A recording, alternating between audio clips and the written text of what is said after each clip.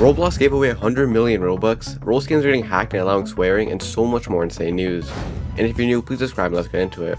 Let's start with the elephant in the room being a missing Roblox YouTuber, of me. The last news video I posted was 13 days ago, and then the last video I posted in general was 8 days ago, but no one watched that video. And overall, in 20 days this month, I've only posted 3 videos. Which if you guys know me, I usually post like every other day. And if you missed my community post and are confused what's going on, basically I'm in my last month of high school ever. Like after this, I'm graduating high school. So that's basically it. It's nothing insane. I've just been really busy with school. But then on top of that, days where I haven't been busy, there's literally like no Roblox news to talk about. But anyways, no one really cares. Let's get into the actual Roblox news. Starting with a game that actually got hacked and it's pretty insane. So recently a very popular game called Clock In got really popular in Roblox. I'm pretty sure it started gaining traction on like TikTok and then from that it got like a lot of people playing it. It's getting thousands of players and visits and overall like the game right now sits at almost 9 million visits overall and has like a couple thousand active. Which obviously is great and it seems like everything's going well and this game has like a brighter future. But then yesterday something actually happened that kind of ruined their reputation. In the game, I don't know how this happened, but every player who started playing got this message. It would like pop up flash on the screen and play like loud noises saying that, Did you know this game is stolen? Divergent Studios is a stolen group, Clock In is a stolen game, Lucas is a swear word, thief, don't let him get away. So not only did he hack the game somehow, but they also swore, which is kind of crazy, I don't know how they got away with that, but I think that's like the least of their concerns. And I don't know how they hacked the game or like what's going on, and I'm pretty sure it's probably something to do with like backdooring a diamond panel, something like that.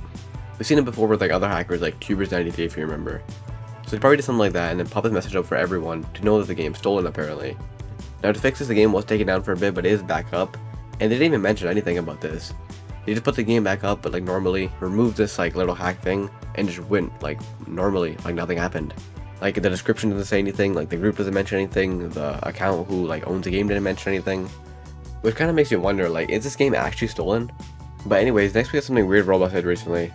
So they recently announced these new Roblox like default avatar bundles that have like layered clothing and dynamic faces. And they look pretty weird. Now I don't know what they mean by like default bundle. Does this mean that like when we sign up we're gonna get these bundles? I don't really know. Like to be fair, like they don't look bad as like the character itself, but for Roblox it just seems very like off.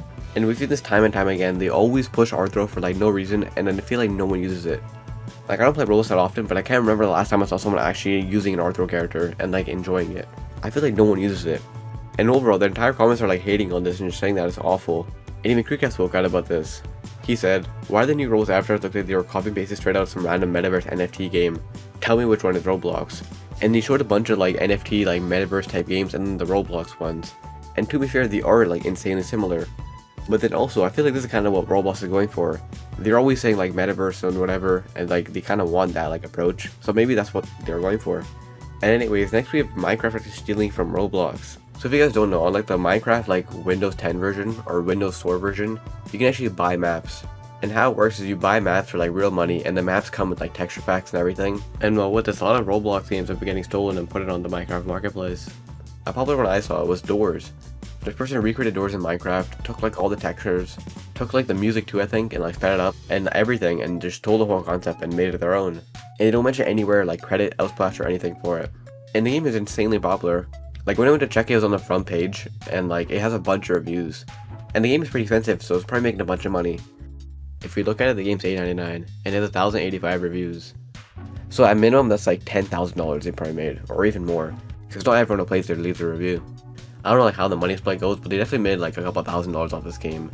And I was looking more to the person who built this, and like their games are just a bunch more stolen stuff from Roblox. Like they have like Rainbow Friends and they have more door stuff and like overall that's just what these people do. Which is pretty messed up because obviously this probably is kind of hard to make. But they're taking the entire concept and like they're basically stealing an entire game and making a bunch of money off of it. Now if we look at the trailer for this game, we can kind of see like how badly they actually stole it. Like for the most part it literally just looks like doors, obviously. And in the trailer they actually use like the doors music and just sped it up to say like they're allowed to use it. That's like the only part that they actually credit Unsplash by stealing the music and speeding it up. And besides that, there is like some stuff that's a bit different. Like the monsters look a bit different. But for the most part, like the map layout, like the theme of the game, everything is stolen. And because of this, the trailer also has some hate. It almost has a 50-50 like to dislike ratio, because people realize like, oh, it's just entirely stolen.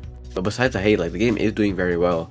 And probably making a lot of money off it. And not only just that game, but all the other games that they have that are stealing from Roblox. Which is pretty insane.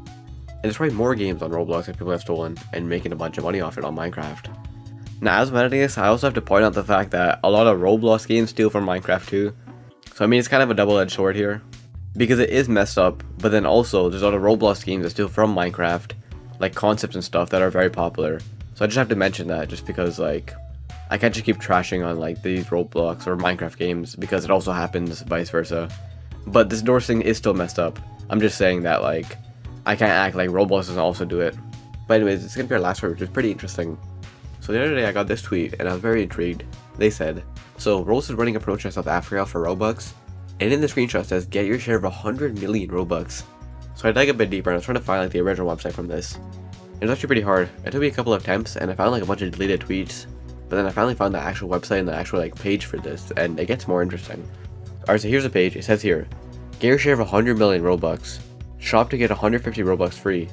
And then if you scroll down, it says, how to get your 150 Robux voucher. It's Pick n Pay's birthday, and we're celebrating with the 100 million Robux giveaway. Level up your shopping game in-store, online, on PNP Home, the Mr. D app, or the Pick n Pay ASAP app.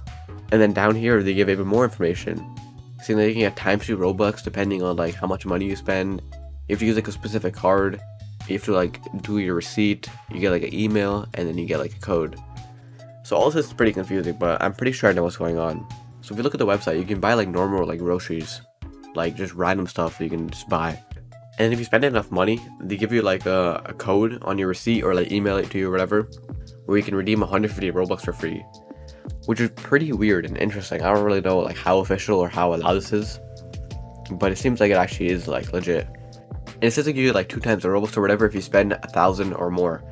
And if you look at like the conversion rate, a thousand like R is like $70 Canadian. So it doesn't even seem like worth it because I think it would literally be cheaper to just buy Robux by itself and not do this. But it says that only for like the two times thing. I don't know what like the limit actually is to get the Robux. But I think the main approach was just that like if you're shopping anyways, might as well get free Robux rather than it being like worth the cost. I don't know, it's pretty interesting.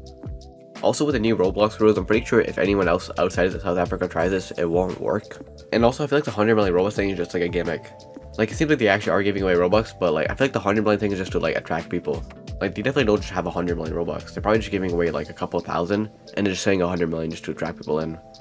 Overall, pretty weird. We haven't really seen anything like this before. And especially from, like, this, like, random website. To be honest, I don't even know if it's legit, but it seems pretty legit from what I've seen and what people have been doing. So I guess if you're in South Africa, the three people watching this are from South Africa, you can get 100 million Robux from buy, or 150 Robux by buying, like, some groceries, I don't know. Now for the people who aren't in South Africa, don't worry, you guys can still get free Robux, because the Microsoft Bing Rewards have recently restocked their 100 Robux codes for most regions. And if you guys don't know what Microsoft Rewards are, it's a rewards program by Microsoft where you can do stuff like surveys and like searching the web and whatever. And if you get enough points, you can buy Robux. But if you enjoyed, check this video to learn about missing Roblox games. I'll see you in the next one.